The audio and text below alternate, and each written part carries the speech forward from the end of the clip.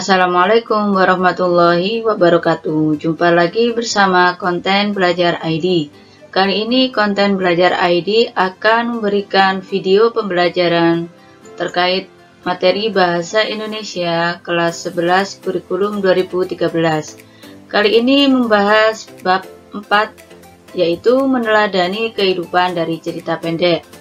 Video pembelajaran ini Lanjutan dari video pembelajaran kelas 11 sebelumnya tentang cerita pendek. Kali ini membahas subbab B yaitu mendemonstrasikan salah satu nilai kehidupan yang dipelajari dalam teks cerita pendek sesuai dengan kompetensi dasar 4.7. Baik, bersama saya Bu Riza Fitrianingsi akan menerangkan dari awal hingga akhir terkait subbab B tersebut.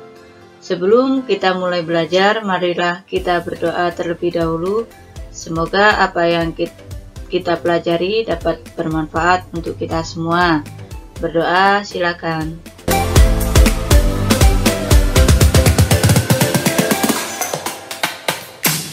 Oke, dapat diakhiri. Terima kasih Mohon disimak dengan seksama video pembelajaran ini supaya kalian bisa memahami dengan baik.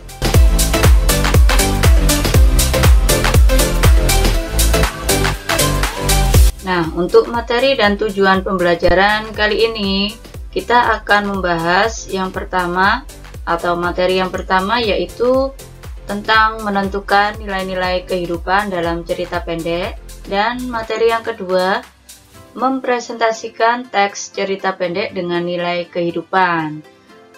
Baik, kita akan jelaskan satu persatu. Materi yang pertama yaitu menentukan nilai-nilai kehidupan dalam cerita pendek.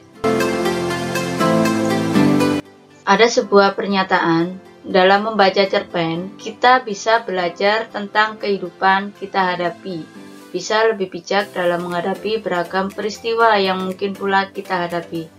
Mengapa demikian? Karena sebuah cerita pendek itu cerminan dari kehidupan yang sesungguhnya atau kehidupan yang didramakan atau di, diciptakan sendiri. Kalau kehidupan kita yang sesungguhnya kan memang e, sudah ada yang menjalankan ya atau yang ada yang maha menjalankan kehidupan. Tapi kalau dalam cerpen, yang menjalankan kehidupan dalam cerpen itu ya kita sendiri bisa. Oleh karena itu, sebuah cerita atau e, amanat yang disampaikan dalam cerita itu bisa bermanfaat untuk kehidupan kita saat ini. Misalkan kalau ada sebuah cerita e, tentang pertengkaran plus penyelesaian dari pertengkaran antar saudara seperti itu. Itu kan bisa kita jadikan e, referensi ya bukan referensi cara bertengkar tapi referensi cara menyelesaikan masalah dalam kehidupan yang sesungguhnya. Makanya kita bisa lebih bijak. Oleh karena itu lebih seringlah membaca cerita supaya kita e, lebih luas e, wawasan atau pengetahuan kita dan kita lebih bijak dalam menghadapi uh, masalah atau peristiwa saat ini.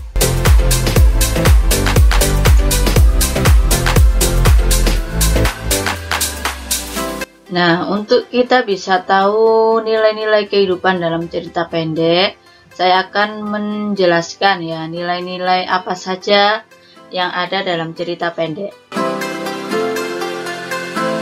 Untuk nilai-nilai kehidupan yang pertama yaitu ada nilai budaya, yaitu sebuah kebiasaan-kebiasaan dalam masyarakat yang telah disepakati. Nah, budaya ini terkait dengan adat istiadat dari daerah tertentu atau daerah masing-masing. Jadi, dalam sebuah cerpen itu biasanya kan eh, pengarang menceritakan tentang kehidupan pada daerah tertentu. Nah, itu dalam kisahnya juga harus menganut kebiasaan-kebiasaan dari latar tempat yang dia ambil. Tidak boleh di apa ya digabungkan. Misalkan um, latar tempatnya ada di Jawa Tengah. Jadi budaya yang yang kebiasaan-kebiasaan Jawa Tengah itu juga harus melekat dalam isi cerita tersebut. Tidak boleh dicampur e, ya, tidak boleh dicampur adat Jawa Tengah dengan adat Jawa Timur. Ceritanya dari Jawa Tengah ternyata mengambil adat dari Jawa Timur. Itu e, tidak boleh ya. Kecuali memang judulnya menyangkut pertukaran adat istiadat seperti itu dan misalkan kebiasaan karena ceritanya itu adalah orang kaya ya berarti kita harus menunjukkan kebiasaan atau adat istiadat orang kaya itu seperti apa. Dari gaya berjalan gaya berpakaian gaya bergaul gaya bicara itu semuanya harus di uh, di disesuaikan dengan uh, apa namanya karakter orang kaya atau budaya orang kaya itu bagaimana. Jadi tidak boleh dicampur seperti itu. Dapat dipahami ya. Selanjutnya nilai apa ya? Yaitu nilai sosial. Hubungan seseorang dengan orang lain dalam berinteraksi. Nah, ini sosial itu juga sangat penting ya. Karena status kita juga makhluk sosial yang uh, apa ya saling ketergantungan dengan orang lain. Jadi kita harus memperhatikan bagaimana cara bergaul atau bersosialisasi dengan orang lain, baik berinteraksi secara langsung maupun tidak langsung. Selanjutnya ada nilai politik. Ternyata di sebuah cerpen juga ada nilai politik ya yang sesuai dengan kehidupan. Usaha untuk memenangkan bersama dan adanya timbal balik Nah, ini kalau dalam bahasa ilmu pengetahuan alam itu simbiosis mutualisme. Itu harus ada nilai politiknya. Upaya untuk mendapatkan sesuatu. Politik ini jangan dikatakan yang negatif ya. Politik bisa juga misalkan kalau kita ingin memperoleh e, nilai yang bagus. Jadi usaha apa? Usaha apa untuk bisa memenangkan, bisa me mendapatkan nilai yang bagus itu. Usahanya yaitu belajar dengan rajin. Timbal baliknya apa? Ya kalau kita prestasinya tinggi, ya kita akan lancar ya untuk uh, melanjutkan ke jenjang yang lebih tinggi. Nah seperti itu. Jadi itu yang dikatakan nilai politik. Tidak hanya yang koruptor dan lain sebagainya. Selanjutnya ada nilai agama atau religius. Dalam sebuah cerita atau kehidupan juga ada nilai agamanya, yaitu kaitannya hubungan kepercayaan atau ajaran Tuhan. Ini kalau nilai agama itu sifatnya pribadi ya atau e, personal. Mengapa demikian? Karena setiap orang itu memiliki kepercayaan dan ajaran agama masing-masing yang tidak boleh dipaksakan seperti itu. Misalkan kalau agama Hindu kalian berteman dengan agama beragama Hindu misalkan. Ya kita tidak boleh memaksakan untuk mereka sholat seperti apa yang kita lakukan. Karena e, teman kalian itu memiliki kepercayaan dan ajaran Tuhannya itu masing-masing. Dia sembayang mungkin sembayangnya bukan seperti apa yang kita lakukan atau agama Islam dengan agama Hindu itu pasti berbeda ya ajaran dan kepercayaannya. Jadi itu harus dipegang teguh, tidak boleh eh, apa namanya dicampur dengan urusan lain. Itu terkait dengan nilai agama. Kemudian ada nilai ekonomi, kaitannya dengan permasalahan ekonomi dalam masyarakat. Nah, kalau ekonomi berarti ya pasti dominannya dengan uang, uang dan uang. Ya. Ini sudah jelas ya, tidak perlu saya detailkan lagi. Selanjutnya ada nilai moral ya. Kalau moral itu kaitannya dengan watak. Moral itu kaitannya dengan watak atau kepribadian seseorang. Baik buruknya seseorang dalam bersosial. Nah, itu berarti ini moral ini sikap personal ya, pribadi seseorang. Selanjutnya ada nilai edukasi yaitu pengubahan tingkah laku atau pengajaran buruk ke baik dan sebaliknya. Itu ada nilai pendidikan atau edukasi.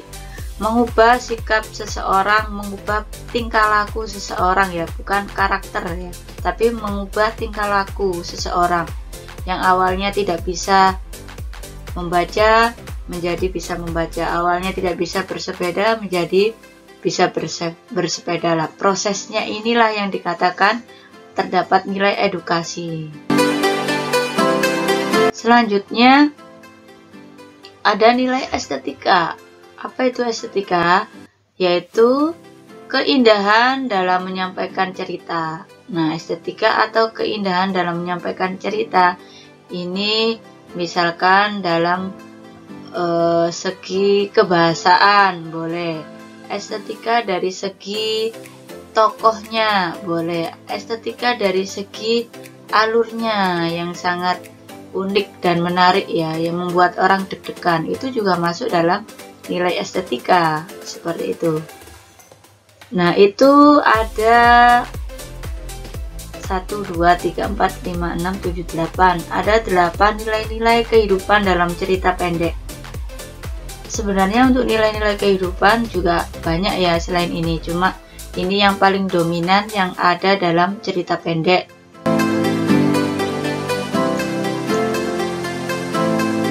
Nah, sekarang bagaimana caranya kita menentukan nilai-nilai kehidupan dalam cerita pendek? Saya buat contoh ya, cara menentukan nilai-nilai kehidupan dalam cerita pendek. Nah, ini ada 5 eh mohon maaf, ada 4 cuplikan cerita yang saya ambil dari buku bahasa Indonesia kelas 11 kurikulum 2013 yang terbaru, revisi terbaru. Baik, kita perhatikan. Saya baca yang nomor satu terlebih dahulu, cuplikan ceritanya. Oh Tuhan kami yang maha besar, kami yang menghadapmu, ini adalah umatmu yang paling taat beribadat, yang paling taat menyembahmu. Kamilah orang-orang yang selalu menyebut namamu, memuji-muji kebesaranmu mempropaganda keadilanmu, dan lain-lainnya. Kitabmu kami hafal di alur kepala kami, tak sesaat, tak sesat sedikit pun membacanya. Akan tetapi, Tuhanku yang Maha Kuasa, setelah kami Engkau panggil kemari, Engkau masukkan kami ke neraka. Maka sebelum terjadi hal-hal yang tidak diinginkan, maka di sini atas nama orang-orang yang cinta padamu, kami menuntut agar hukuman yang kamu jatuhkan kepada kami ditinjau kembali dan memasukkan kami ke sorga, bagaimana yang engkau janjikan dalam kitabmu. Nah, kira-kira uh, cuplikan cerita nomor satu ini masuk dalam bidang kehidupan mana ya? Ini ada keterangan yang nomor satu itu agama, dua sosial, dua ketiga budaya, keempat ekonomi. Ya, sudah jelas ya ini karena ini kaitannya dengan Tuhan, dengan ajaran atau kepercayaan. Berarti dia masuk dalam bidang kehidupan agama. Oke. Sekarang lanjut ke nomor 2. Kalau begitu, mengapa Syarifudin meninggal pada hari kedua setelah dia disunat? Darah tak banyak keluar dari lukanya. Syarifudin kan juga penurut, pendiam. Setelah bulan Setengah bulan hampir dia mengurus diri karena kau mengatakan kelakuan abangnya sehari sebelum disunat itu. Aku tidak percaya jika hanya oleh melompat. Melom jika hanya oleh melompat-lompat dan bekerjaan setengah malam penuh. Aku tidak percaya itu. Aku mulai percaya desas-desus itu bahwa kau orang yang tamak, orang yang kikir, penghisap, lintah darat, Inilah ganjarannya. Aku mulai percaya desas-desus itu tentang dukun-dukun yang mengilu luka sunatan anak-anak kita. Aku mulai yakin mereka menaruh racun di pisau dukun-dukun itu. Nah, ini juga cuplikan cerita ya. Kira-kira ini menurut kamu bidang kehidupan mana? Sosial, budaya, ekonomi, atau agama? Iya, benar. Masuk dalam budaya budaya apa budaya uh, apa namanya sunat itu biasaan orang Islam kan sunat ya kalau laki-laki. Baik sekarang lanjut ke nomor tiga yaitu kalau benar begitu apalagi yang sekarang mereka sakitkan hati. Aku telah lama mengubah sikapku. Tiap ada derma aku sumbang. Tiap kesusahan aku tolong. Tidak seorang dari mereka yang tidak kuundang dalam pesta tadi malam. Kau lihat kan, tiga terata itu penuh mereka banjiri. Aku yakin mereka telah menerimaku, maafkan aku. Nah, ini kira-kira masuk dalam bidang kehidupan mana? Karena ini hubungannya dengan orang lain ya. Ya kan, kaitannya dengan memaafkan berarti kan hubungan Sosial berarti masuk dalam nilai sosial. Sekarang yang nomor 4. Di ruang kosong yang semula dipenuhi pernik cahaya matahari, kita bertatap muka penuh gairah. Di penjuru ruang kosong itu bergantungan bola-bola rindu penuh warna dan aroma. Bola-bola itu bergesekan satu dengan yang lainnya mengalirkan irama-irama lembut Beethoven atau Papa Varotti. Irama itu menyayat-nyayat hati kita agar mengukir potongan sejarah baru, bagaikan sepangsang angsa putih yang menari-nari di bawah gemerlapan cahaya langit. Sejarah itu terus ditulisi ke berkepanjangan lewat ratusan kitab laksana aksara. Namun, setiap perjalanan pasti ada ujungnya. Setiap pelayaran ada pelabuhan singgasananya. Setiap cuaca benderang niscaya ditingkahi temaran bahkan kegelapan. Nah, untuk yang nomor empat ini kira-kira masuk bidang kehidupan mana? Ya ini membahas tentang rindu ya, rindu atau hubungan seseorang. Jadi ini masuk sosial juga ya, karena hubungannya dengan orang lain. Nah, untuk alasannya sudah paham ya. Kalau nomor satu berarti alasannya karena membahas tentang Tuhan, berarti masuk nilai agama.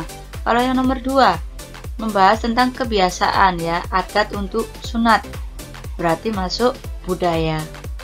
Sedangkan yang nomor tiga, ini juga apa hubungan dengan orang lain, kaitannya ini apa menolong orang, kemudian memaafkan, menerima seseorang, berarti itu kan hubungan dengan orang lain, berarti masuk dalam bidang sosial. Kemudian yang nomor empat, itu juga masuk bidang sosial. Alasannya bagaimana? Ya karena rindu ya, rindu dengan seseorang, berarti hubungan dengan seseorang masuk dalam bidang sosial. Dapat dipahami ya untuk menentukan nilai-nilainya dan bisa membuat alasannya Oke, kita lanjut pada materi berikutnya. Materi yang kedua, kita belajar mempresentasikan teks cerita pendek dengan nilai kehidupan. Nah, kita belajar untuk menerangkan ya teks cerita pendek dengan nilai kehidupan. Setiap pengarang akan menginterpretasikan atau menafsirkan kehidupan berdasarkan sudut pandangnya sendiri. Benar ya, setiap pengarang orang membuat sebuah cerita itu pasti kan memiliki alasan ya, memiliki penafsiran tersendiri. Urusan orang lain itu menafsirkan yang berbeda itu urusannya beda lagi ya. Yang penting pengarang itu memberikan makna seperti ini misalkan.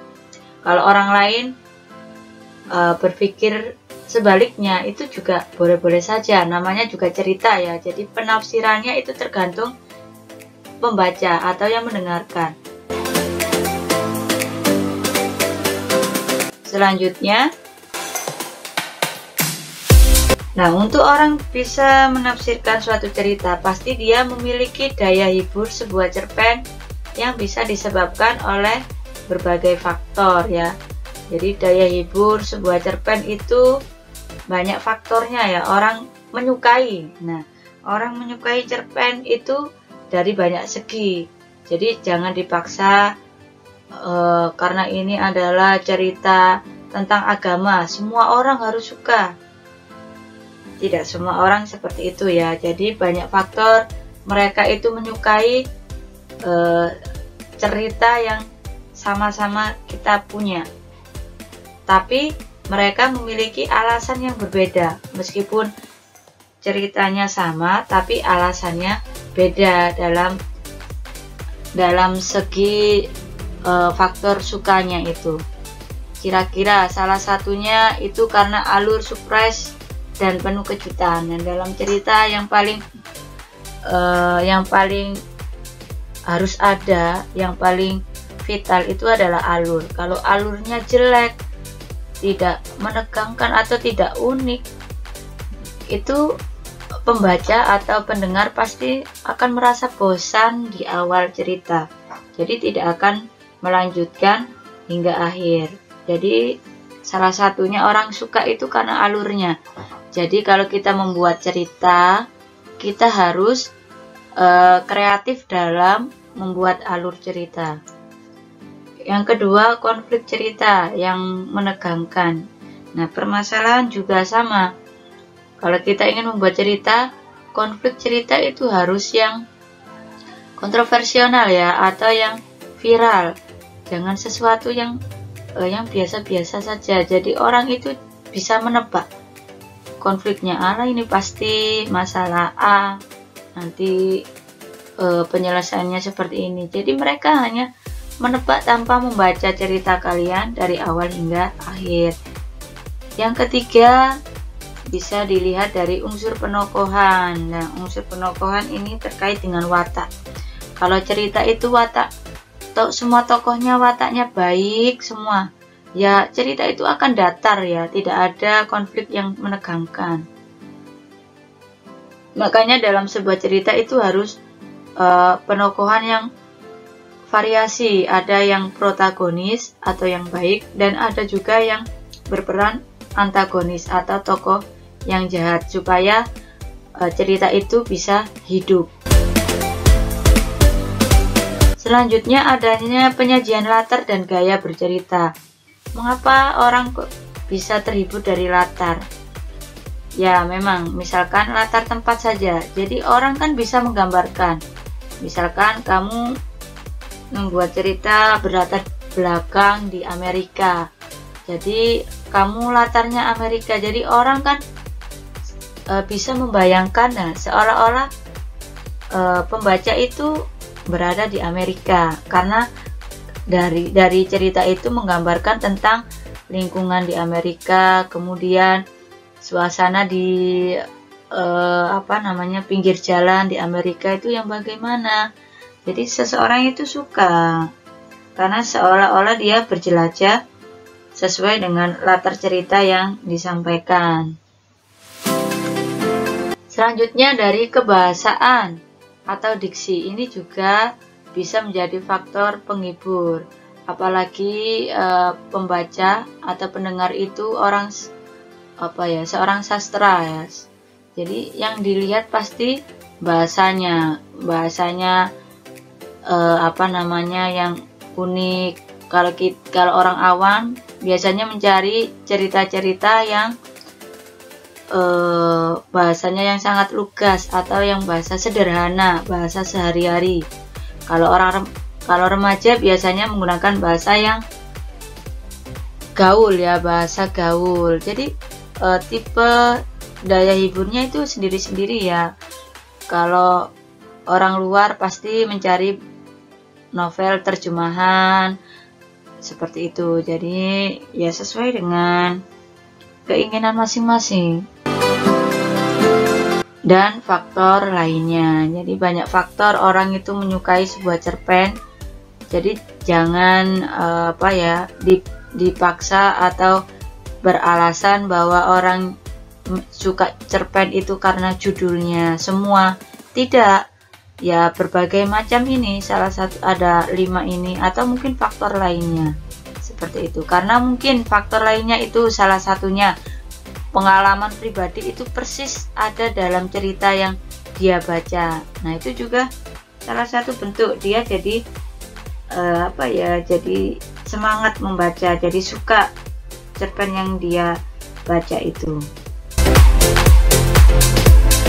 Dapat dipahami ya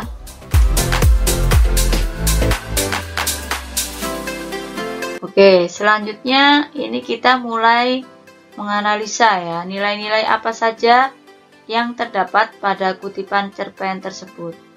Nah, ini saya punya sebuah kutipan cerpen. Kira-kira cer kutipan cerpen ini masuk dalam nilai kehidupan apa saja. Boleh satu, boleh lebih dari satu. Karena dalam satu paragraf kan variatif ya. Jadi nilai nilai yang ada tiap paragraf itu uh, tidak hanya satu, ada juga yang menemukan dua, tiga, dan lain sebagainya. Saya baca dulu ya. Memesan tulisan di depan itu mahal. Akhirnya Sarijan teringat lagi kepraktisannya dalam keuangan. Harga papan, ongkos pencatatan, tulis, tulisan, ah 10.000 sendiri habis ke situ. Tentulah suaminya tidak akan setuju. Sejumlah itu besar. Lebih baik ditambahkan ke tabungan guna mengurus sertifikat baru tanah yang masih mereka miliki.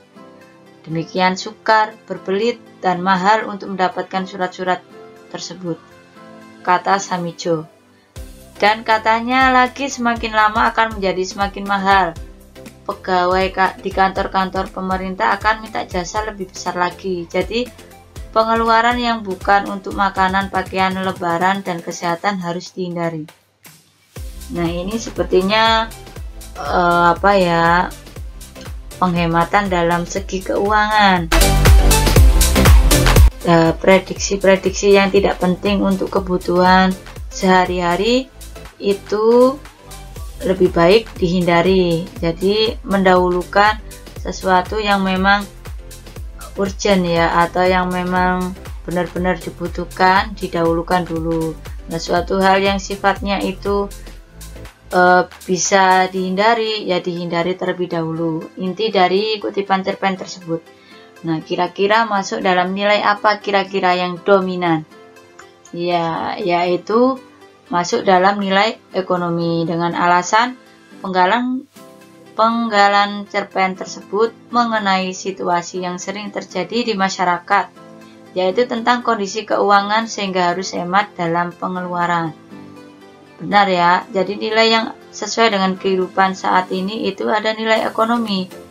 Jadi jangan sampai lebih besar pasak daripada tiang, lebih besar pengeluaran daripada pemasukan. Nah, itu. Jadi dalam kutipan teks tersebut masuk dalam kategori nilai ekonomi yang lebih dominan. Kira-kira ada nggak nilai sosialnya? Ada ya, kaitannya dengan interaksi antara ini suami dan istri ini. Samijo dan istrinya. Samijo dan Salijan, bukan istrinya ya. Samijo dan Salijan. Jadi uh, mempertimbangkan pengeluaran untuk membuat ini tulisan di depan pintu. Dari sini ada yang uh, ditanyakan. Oke jika sudah paham kita lanjut. Jika ada yang ditanyakan silakan bertanya lewat kolom komentar ya